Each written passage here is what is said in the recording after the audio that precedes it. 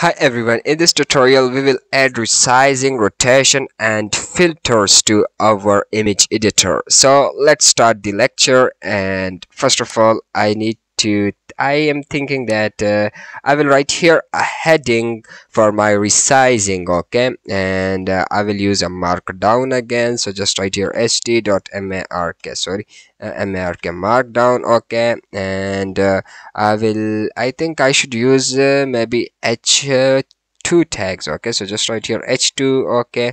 And uh, just close h2 tags uh, here sorry close them okay? And inside these h2 tags uh, i will write uh, uh, r-e-s-i-z-i-n-g resizing okay? And i will say unsafe allow html to tru true okay? And i will make this thing in the center as well okay? So just uh, write this part just copy this part okay uh, no sorry till that point okay? So just copy it copy and uh, paste it here okay? Let's save it let's refresh it. And before I browse it okay so let's add some more features to it and then we will browse it okay? So uh, after uh, adding uh, markdown I need to ask user to enter the width and height of the image okay? So uh, i will save my width width inside this width variable okay? And i will say st dot numbr so i will use here a number input because i want to get numbers from the user okay? So i will use here a number input and uh, i will say width width okay? And uh, let's do this process for height as well. Height is equals to st dot uh, uh, numbr number input okay and then i will say heigst height okay and uh, let's save it and now let's rerun this thing and see how it looks like now so just select the file open and yeah this is my resizing heading and this is the width and height. So user can enter width and height. But uh, here i am thinking that uh, instead of uh, 0 0 i need to print this actual width and height of the image okay?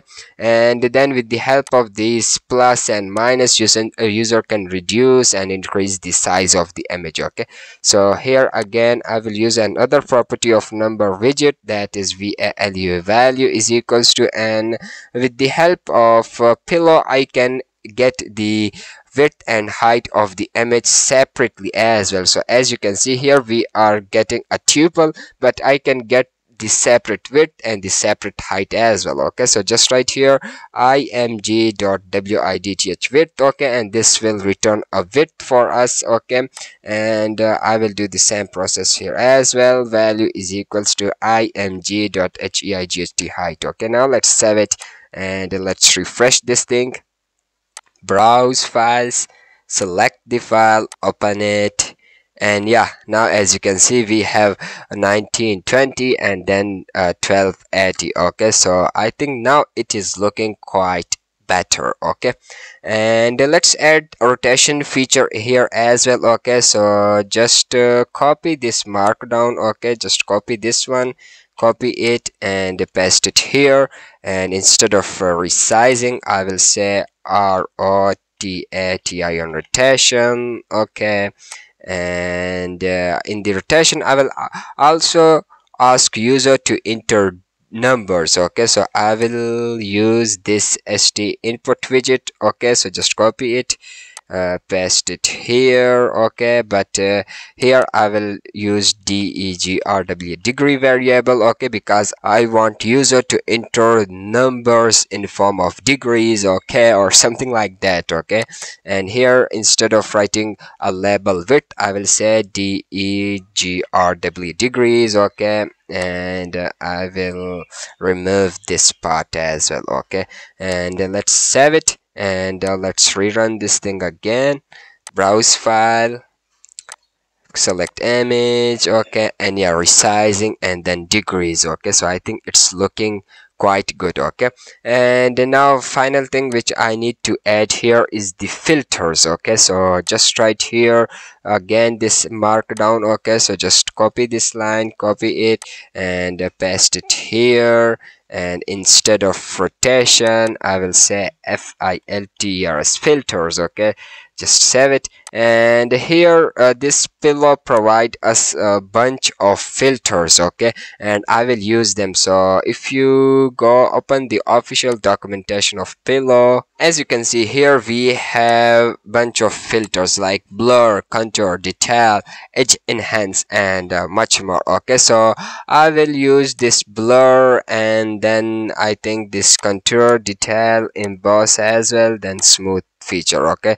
I will use here a select box widget of streamlit okay? So just right here st.select select box okay? And then i will say filtr filtrs filters okay? And then now inside the options option options i will pass my filters name okay? So like uh, first of all i will have a none filter okay? So if user doesn't want to uh, apply any kind of filter he can select this none okay? And then i will have blur blur filter okay? And then i will have DETIL detail filter and then I will have maybe EMB or double emboss filter and then I will have like a SMWT smooth filter okay? I think it's enough. You can use all of them but uh, for now I think it's enough okay? And I will also save my these filters inside this filters filters variable okay? And now let's save it and let's uh, refresh this thing and see how it is looking now. Browse file select image open it rotation resizing rotation and filters okay? And these are my filters. None blur detail and emboss smooth okay? I think it's good. And here one thing that is uh, weird for me is this thing okay?